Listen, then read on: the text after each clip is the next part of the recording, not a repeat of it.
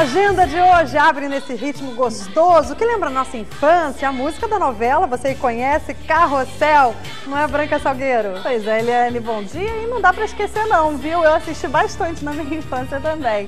É o primeiro final de semana do filme Carrossel nas principais salas de cinema do país. Quem nunca assistiu, né? E quem nunca se encantou com essa criançada aí, as gerações. E agora tem uma versão mais jovem, eu estive lá na pré-estreia, achei o filme bem interessante, tem cenas assim que, olha, as crianças não param de olhar para a tela. Pois é, dessa vez a turminha do professor Helena, que já agita todas durante as aulas, agora invadiu as telonas e vai aprontar poucas e boas, só que um acampamento de férias. No elenco estão todos os personagens mirins da novelinha, que é exibida aqui no SBT todas as noites, de segunda a sexta. O filme é cheio de aventura, boas risadas, e também muito romance, viu? Não façam isto em casa. E tem mais pra garotada no CCBB. A boa é curtir duas peças infantis, João Indeciso e A Pequena Sereia. O diferencial é que esses dois espetáculos são realizados por uma das companhias mais famosas de teatros de marionete do mundo, a Lokvar, que veio de Praga, lá na República Tcheca, para se apresentar aqui hoje, amanhã e domingo em vários horários. E a entrada, olha, o melhor de tudo, é franca Brasil sempre.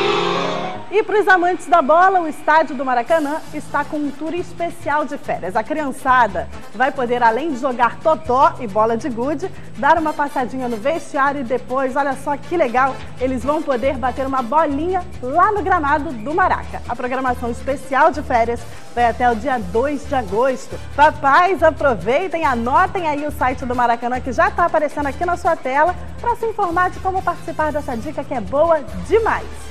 E está rolando também um festival muito bacana na cidade até o dia 2 de agosto. É o festival O Rio é Saxe. No evento, o saxofone, esse instrumento aí maravilhoso, é o protagonista de espetáculos de vários shows, como os da Orquestra Tabajara, que vai fazer hoje à noite um baile show lá na Arena Jovelina Pérola Negra, na Pavuna. Os ingressos custam apenas R$ 2,00.